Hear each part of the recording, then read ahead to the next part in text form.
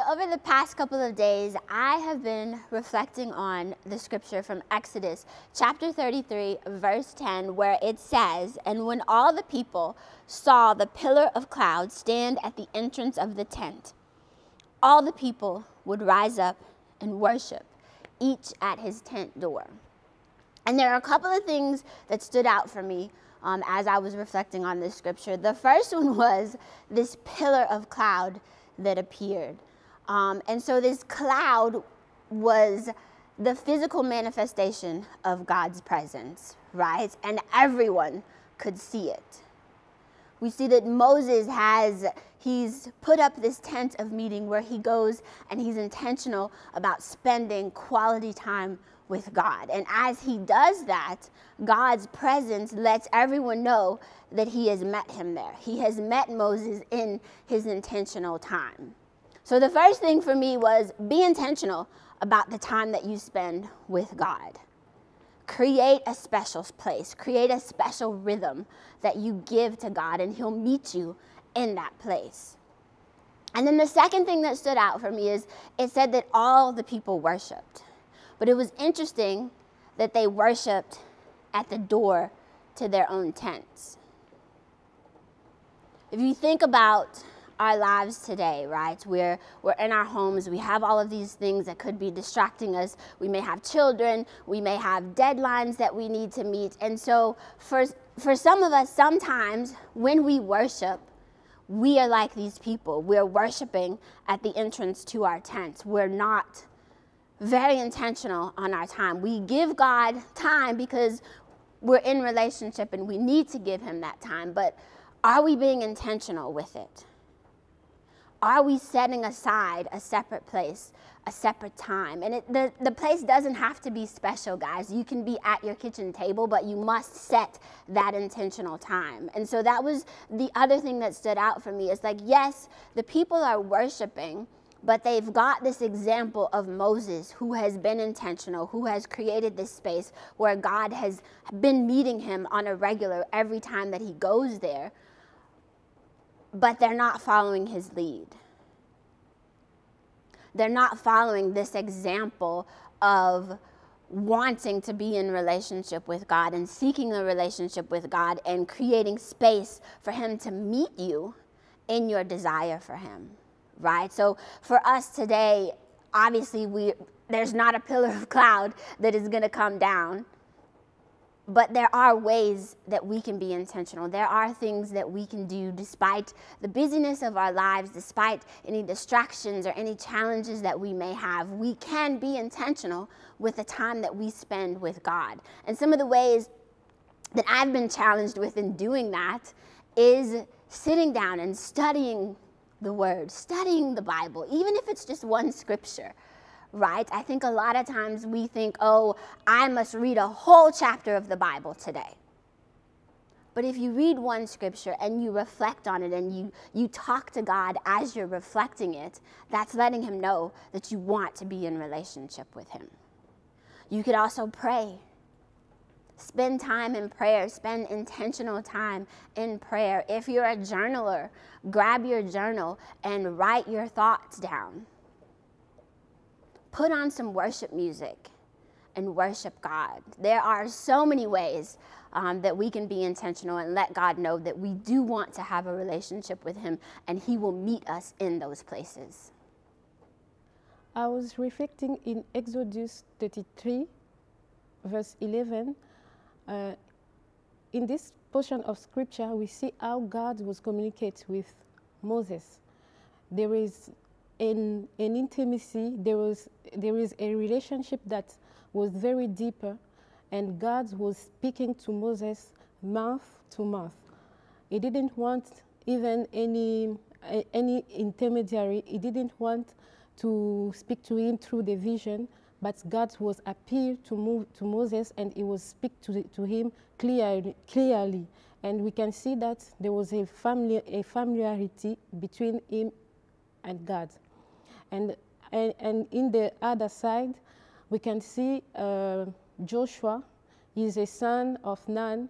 He's a, he's a servant of Moses. The Bible says, the scripture says, when uh, Moses went, when Moses built the camp for, for God, Joshua didn't left the camp. He was staying in the, in the, he was staying in the tent and we can see a, we can see a, a, a picture of a person that's who wanting God, a person that who seeking God and desiring God. Even though uh, Moses, when he was finished to speak to God, he was leave, leave, leave, but him he stay in the camp, in the tent, and he was seeking and searching God. Desiring God is a choice that we can make. Desiring God, God is, God is seeking for a person that is already open to receive Him. God reveal and appeal to a, a heart that is seeking for Him. So in Luke 10, we see Jesus visiting the house of Mary and Martha. And as Jesus is there, uh, Mary goes to sit at the feet of Jesus, and as the scripture says, she, she goes to sit and listen to him, while Martha is kind of anxiously moving around. Uh, it says that she's making preparations and she's serving, and Martha sees that Mary is just sitting there uh, and she's not helping, and Martha is upset by this, and so she goes to Jesus and she tells him about this. And Jesus responds with the scripture here in Luke 10 42, where it says, But one thing is necessary. Mary has chosen the good portion, which will not be taken away from her. Um, the key being, but one thing is necessary. And so when we look at this scripture from Jesus' perspective, I think it's clear that Jesus at this point is he's not interested in what Mary and Martha uh, can be doing for him in this, in this moment. He's not interested in, in their preparations or their serving. He simply wants them to come and sit by his feet, uh, to listen to him, and be in communion with him. Uh, but when we look at Martha's side of things, we see that her engagement with Jesus or her relationship with Jesus is made up of, made out, out, of, out of wanting to serve Jesus, um, wanting to do things for him, making preparations for him. She thinks that this is what requires, this is, this is what is required for her to be in relationship with Jesus. Uh, which reminds me of my, my own story and my own relationship with Jesus. There's been a time where I've been so caught up in doing things for Jesus, so in this mindset of my relationship with Jesus is dependent on me doing things for Him, that I started to develop uh, this mindset deep inside of me and this expectation well, if I'm doing all these things for Jesus, then Jesus has to do things for me in order for Him to be in relationship with me. Um, and as you can imagine, this led to a lot of disappointment, uh, a lot of pain, and a lot of frustration, uh, as we even see here in the scripture as, as Martha is is wrestling with this frustration. What happened is I had lost that one thing uh, that Jesus is talking about here that desire to simply know Jesus and to get to know Him, um, and that that should be enough. So we're reminded through the scripture that we are enough for Jesus just as we are uh, we come before Him and He simply desires us and to be in communion with us. He doesn't necessarily desire the things that we can do for Him. Um, and so I think the heart is for us to be able to, to do the same. That when we enter into the presence of Jesus, that our one desire above everything else, um, above the things that Jesus can do for us, our one desire, our one thing is to simply know Jesus, to desire Him, uh, to want to be in community with Him um, above everything else. So I have been meditating on Luke 11, uh, verses 1, which reads as follows One day, Jesus was praying in a certain place. When he finished, one of his disciples said to him, Lord, teach us to pray, just as John taught his disciples. And as I have been reading this verse, the first thing that um, stood out to me is how it says, one day Jesus was praying in a certain place. And so as we speak about desiring God, this is so important to me because it shows Jesus demonstrating what it means to desire God right? Because in this time, Jesus was moving around with his disciples. He wasn't by himself, he was with a group of people going around preaching the, the gospel. And as he was doing this, as he was living out his daily life, he took time set time apart, went away, and spent time in prayer, right? So when the disciples see him, he's not amongst them, he's on his own, setting time apart, praying living out what it means to desire God. And it is this example, it's this demonstration that sparks something within one of his disciples. And as, as he sees Jesus communing with God, as he sees Jesus uh, living out what a relationship with God looks like, he says to Jesus, Teach us, teach us how to how to pray. And this is so intriguing for me because I'm like, did they not know how to pray? Did he not know how to pray? An entire disciple of Jesus did not know how to pray. And that's obviously not the case because they were Jews. They knew how to, how to pray. But what this disciple is saying in this moment is that I know how to pray, I know how to recite prayers. But teach me what you do. Teach me this relationship. I want to move from reciting to relationship. I want to move from religion to relationship, to communication, to, to being in, in proximity, to wanting and desiring and, and communicating. And one of the key things from the series has been communicating this two way thing, right? Not a one way, I just recite and then I go away, but I'm in relationship, I'm communing. And so this is the cry of this, this disciple's heart that Jesus, I see you do something different. I see you walk out relationship with God different. Teach us. Teach us this thing that you do with God that we don't do. And so at the end, he, he says, just as John taught his disciples, right? And so we don't have in scripture what exactly it is that John taught his disciples when it comes to prayer. But what we do know, right, is that John was pointing to Jesus. John spoke about, um, about the gospel, about the one who was to come, about the, the, the Messiah. So everything John was teaching, was doing, was pointing to Jesus. It was pointing to relationship with Jesus. It was pointing to the Messiah. It was moving away from, from religion to now relationship.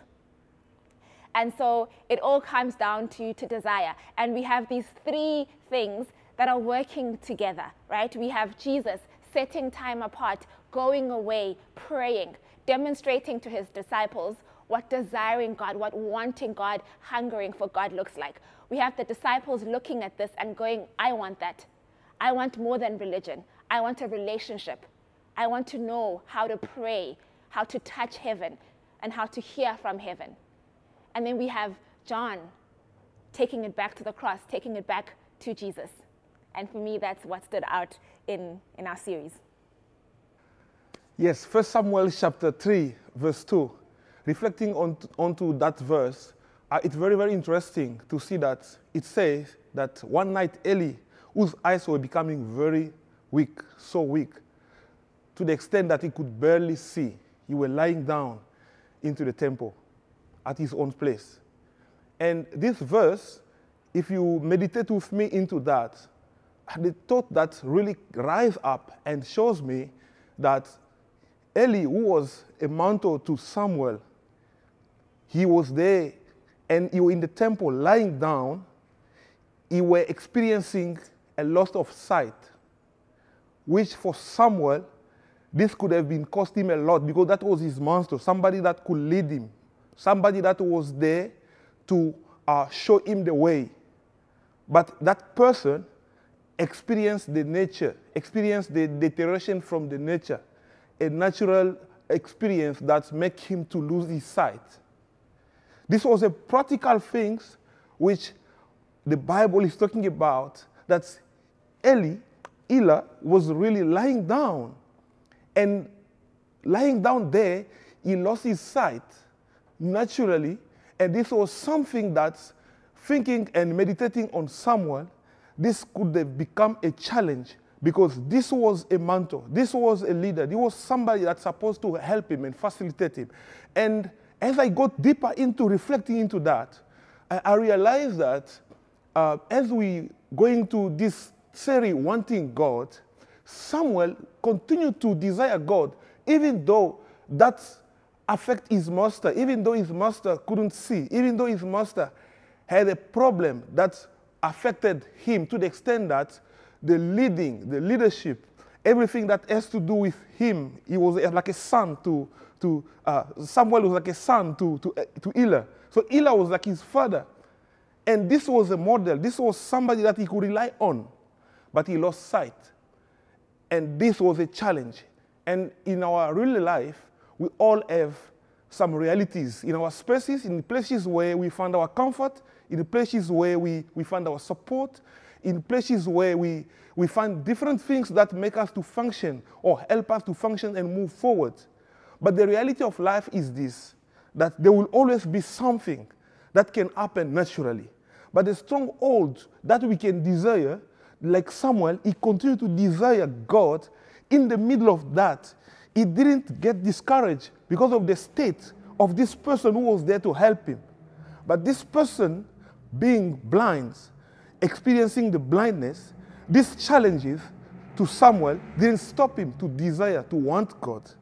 Same with me and you. We all experience these different realities. I don't know what you are going on, we are going through uh, in your life. Uh, you might have your reality which are different than mine, but do not let your challenges, the realities of your situation, stop you, stop me from wanting God, desiring God, because there's no greater need than God. And if we understand that there's no greater need than God, then whether things work perfectly or not perfectly, these things cannot separate us from the desire to continue moving, seeking God's face, desiring Him, wanting Him, desiring Him more and more, because He is the object of our faith. And this is the reality. So, what we see in the scripture with Eli, this is a reality that living into this physical world, we can, in reality, continue to experience. Uh, we can be vulnerable like anybody. And this is the reality that we cannot escape, but hold on to your faith and continue to desire God because that is the true object of our faith.